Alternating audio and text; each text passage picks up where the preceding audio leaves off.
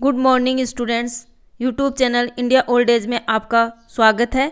आज हम इस वीडियो में गुप्तों के जो अंतिम जो शासक हैं, उनके बारे में जानकारी प्राप्त करेंगे। और ये जो शासक हैं, ये ज़्यादा शक्तिशाली शासक नहीं थे, जिसके कारण गुप्त वंश का पतन भी हुआ था। लेकिन इन शासकों के बारे में पढ़ना भी ज़रूरी है। कई बार कई क्वेश्चन इनमें से एग्ज़ाम में आते हैं। तो वीडियो को अच्छे से आप ध्यान से देखिएगा। आपको एग्ज़ाम में बहुत ही सहयोग मिलेगा, ठीक है? तो चलो चलो पढ़ते हैं। भानुगुप्त, वैश्यगुप्त, कुमारगुप्त तृतीय का इतिहास, ठीक है? सबसे पहले हम पढ़ेंगे भानुगुप्त का इतिहास। भानुगुप्त भारत पर राज्य करने वाले प्रसिद्ध गुप्त राजवंश के गुप्त सम्राटों में से एक था। इसका उल्लेख एरण शिलालेख में तथा मंजूश्री मूलकल्प नामक ग्रंथ में मिलता है। एरण प्रस्तर स्तंभ लेख। देखिएगा इसके बारे में, भानुगुप्त के बारे में क्या जानकर देता है?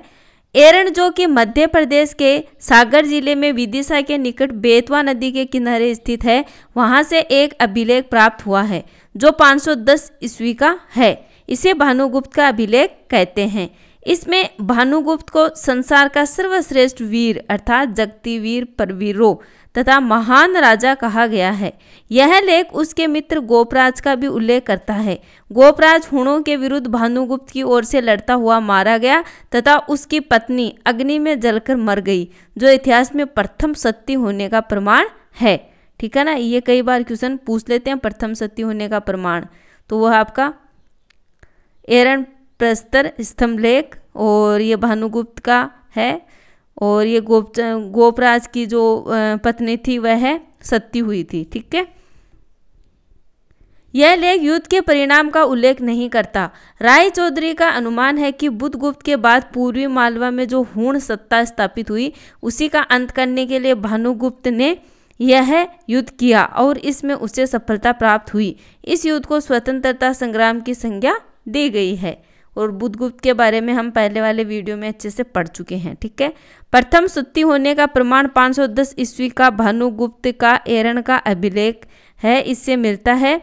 प्रथम सत्य होने का प्रमाण कहाँ से मिलता है? 510 ईस्वी के भानुगुप्त के एरण के अभिलेख से, ठीक है? जिसमें किसी गोपराज नामक सेनापति की मृत्यु पर उसकी पत्नी के सत्य होने का उल्लेख है। वन्य गुप्त का इतिहास तो वन्य गुप्त सम्राट था और इस, जिसके बारे में हमें गुणेधर, जो बांग्लादेश के कोमिला में स्थित है, के ताम्रपत्र से जानकारी मिलती है। यह ताम्रपत्र गुप्त संवत एक सौ अठासी अर्थात 507 ईस्वी का है। नालंदा से उसकी एक मुहर मिली है, जिस पर महाराजा धीराज का विरुद्ध प्राप्त हुआ है।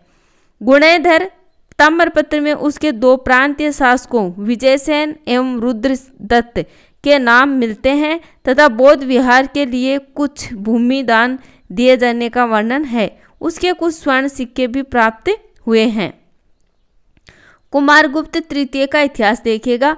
नरसिंह गुप्त के बाद उसका पुत्र कुमारगुप्त तृतीय मगध का राजा बना। भीतरी तथा नालंदा मुद्रालेखों में उसकी माता का नाम महादेवी मित्र देवी मिलता है। दामोदरपुर के पाँचवें ताम्रपत्र में किसी शक्तिशाली गुप्त राजा का उल्लेख मिलता है, जिसकी उपाधियाँ परम देवत, परम भट्टारक महाराजा धीराज मिलती हैं। उसके नाम का केवल प्रथमाक्षर कु प्राप्त हुआ है, अतः इस शासक को हमें कुमारगुप्त तृतीय ही मानना चाहिए। इस लेख की तिथि गुप्त संवत 224 अर्थात पाँच ईस्वी है। कुमारगुप्त तृतीय गुप्त वंश का अंतिम महान शासक था। नालंदा से प्राप्त एक मुद्रालेख में विष्णुगुप्त का लेख मिलता है, जो उसका पुत्र था। विष्णुगुप्त ने 550 ईस्वी तक राज्य किया था। इसके बाद गुप्त साम्राज्य छिन्न भिन्न हो गया था।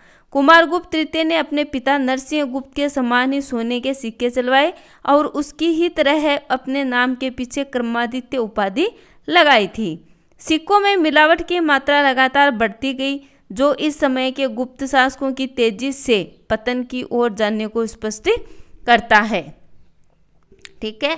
तो इस वीडियो में हमने जो गुप्तों के अंतिम शासक हैं, उनके बारे में जानकारी प्राप्त की। इसी प्रकार से हम और भी आपको जानकारी प्रदान करेंगे इतिहास विषय से संबंधित। तो बने रहें YouTube channel India old age पे।